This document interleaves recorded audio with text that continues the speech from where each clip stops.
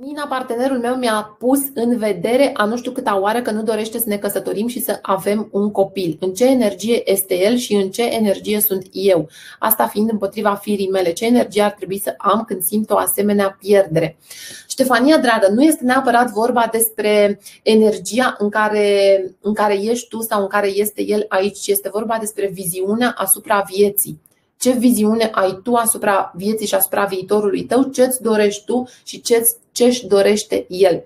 Dacă simți că uh, dacă simți că nu este persoana potrivită pentru tine sau dacă simți că este o pierdere sau dacă nu te simți ok și simți că vrei cu adevărat să ai această familie și că vrei să ai copil și că este un must pentru tine, atunci uh, ia o nouă decizie. Ia o nouă decizie, da? Uh, nu aștepta cealaltă persoană să, să se schimbe, nu aștepta partenerul tău uh, să se schimbe. Da? Deci nu aștepta lucrul acesta, ia tu o decizie pentru tine. Da? Ia tu o decizie pentru tine. Nu există act de iubire mai mare decât onestitatea pe care el a avut-o față de tine. Da? Se prea poate un bărbat să te iubească, dar să nu poată să-ți ofere ceea ce tu îți dorești, pentru că el nu-și dorește pentru el acel lucru. Da? Asta nu înseamnă că nu există iubire, ci înseamnă doar că nu suntem potriviți pentru această călătorie, da? că am fost potriviți până aici, am crescut împreună până aici, dar de aici încolo